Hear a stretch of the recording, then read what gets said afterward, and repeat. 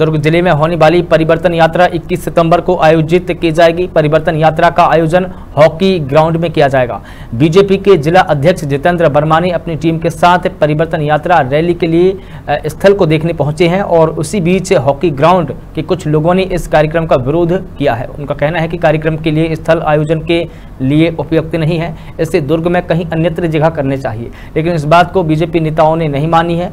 मामले को लेकर हॉकी एसोसिएशन के नेता अंसार अहमद का कहना है कि देर शाम हॉकी प्लेयर्स इस ग्राउंड में खेलते हैं।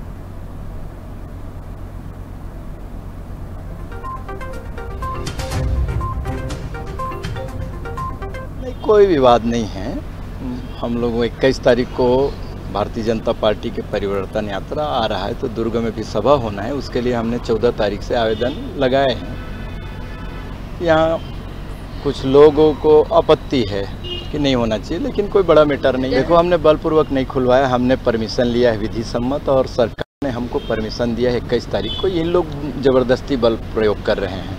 हर एक ग्राउंड में खेल होता है। ये बताओ, दुनिया के जितने भी ग्राउंड है, वहाँ धार्मिक, राजनीतिक खेल कूद का कार्यक्रम होता ही रहता है। लेकिन जिसको परमिशन मिलता है, सारे ज़मीन जो है, सरकार के हैं। सरकार ने हमको परमिशन दिया है। हमारा यहाँ परिवर्तन यात्रा का सभा होगा।